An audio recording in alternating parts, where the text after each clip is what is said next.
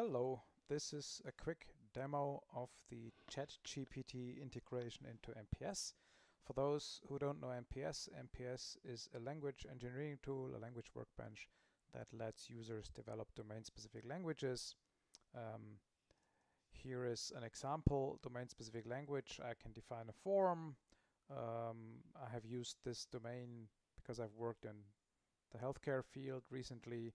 For example, we can uh, have a questionnaire about drug abuse and then we can add a field which is how uh, do you smoke? And then boolean yes or no. And another field how often do you drink alcoholic beverages? And put a number know, you know, whatever, per, can't type today, per week,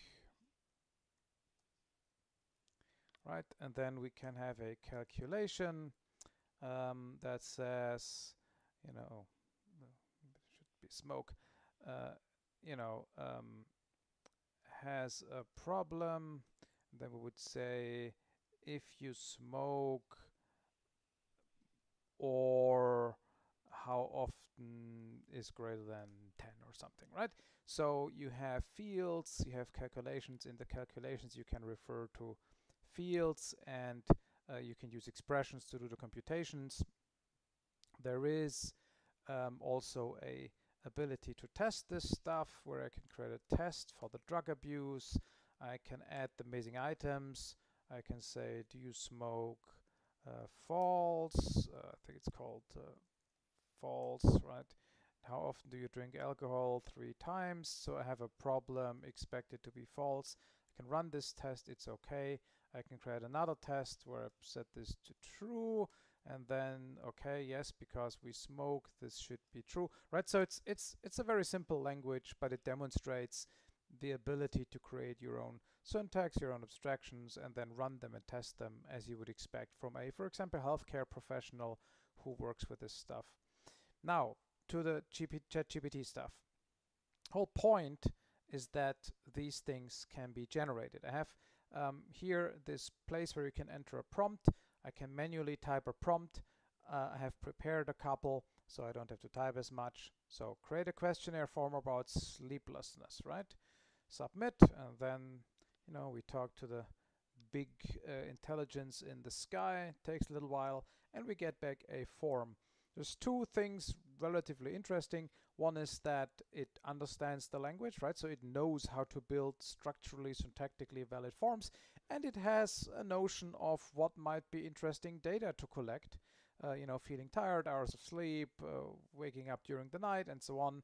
Um, and uh, I mean, this is not so, you know, surprising because, as we all know, um, ChatGPT is good at making up reasonable sounding stuff. So in this case, I just taught it to make up the stuff in a format I can understand here. Um, so yeah, the fact that it comes up with these names is not so surprising. But anyway, I find this overall sleep quality calculation it's technically interesting because it builds valid expressions, but it's kind of meaningless, right? So I'm going to change this to plus, right, instead of the division. And then, yeah, if we feel tired, then the sleep quality is kind of, this is uh, other, this is reverse, right? So if we have difficulty falling asleep and wake up during the night, then we return one, so that's supposedly bad, right? but um, here it's the other way around. If you feel tired, we return zero. So I guess this should be the other way around. So I don't think that we can expect ChatGPT to, to understand these, if you will, execution semantics. But the interesting thing is that I just noticed that I made that you, you just noticed I made corrections, right? I changed this here and I made this a plus. So let's submit the second uh, ChatGPT command, add a field about the expected sleep duration. So I'm submitting. It Takes the usual time until uh, ChatGPT produces a result, usually a couple of seconds. And you can see it has the expected sleep duration as a number and it kept my changes, right? So this is important. That's the system that I built here uh, allows you to modify um, what you get from ChatGPT, and then when you ask it, it, the AI in the sky, um, for additional changes, it doesn't destroy your stuff, right? So let's add another one, add a calculation sleep ratio that divides the hours of sleep by the expected sleep duration, multiplied by 100 to get the percent. Add another calculation that returns true if all if the sleep ratio is below 60. Let's run.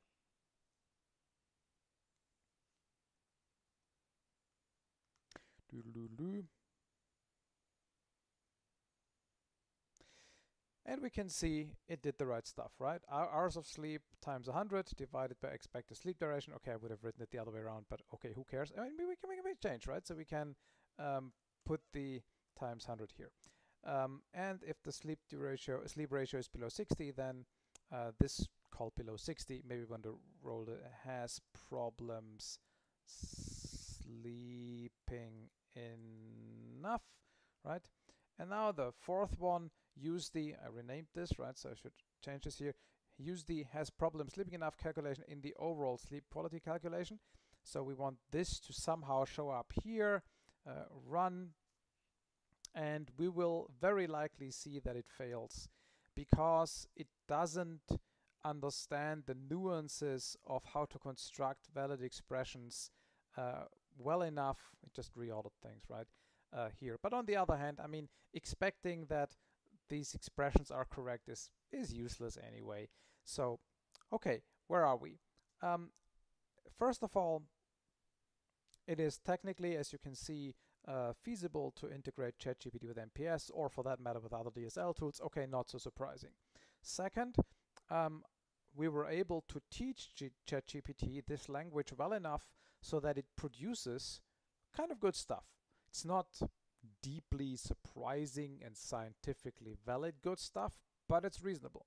So if you put yourself into the perspective of a um, healthcare professional who is kind of designing these forms, then supposedly you understand the subject matter, right? You understand what you want the system to uh, ask or what the questionnaire should ask, but maybe you don't quite understand this language, you know, because some software engineer built this for you, so you can design these kinds of forms, and while this is reasonably intuitive, maybe some of the details are not.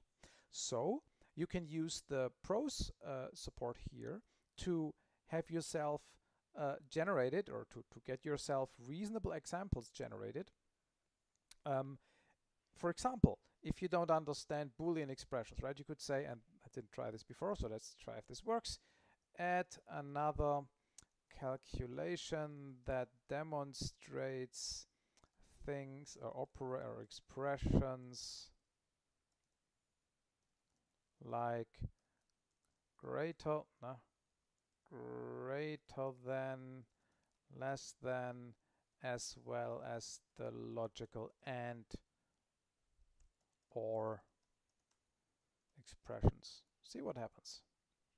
So you might type this as a healthcare professional because you don't you know know how this language works. Obviously these are trivial examples. You probably do know but you can ask it to generate these examples. And you can uh, see a bunch of stuff. It has the greater operator it has the and it has the not equals, right? So that's kind of reasonable. And so presumably from this you can now make your own changes to produce something that's scientifically valid medically valid. Now, of course, you don't, you know, completely trust the system, so you would then go here and uh, delete the old tests from before.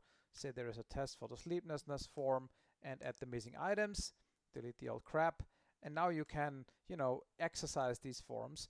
Personally, I think we should not ask GPT to generate the tests as well because of a self-fulfilling prophecy problem. So even if we kind of assume that um, healthcare professionals who use this kind of system can get their, if you will, models generated from prose, like I demonstrated, I think they should still write the tests manually and, and understand what the notion of tests are, right? So if you, I don't even want to write one now, I've demonstrated before.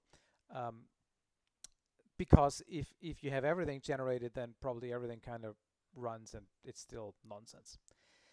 Anyway, so that's the quick demo of the uh, ChatGPT integration into MPS. The more technical description will either be in a second video or if you go to the uh, GitHub, then you can see in the README how to install, how to set up, a little bit of background, and then also a brief technical overview how this works and which parts of the code do what. All right, so that's it. Ciao.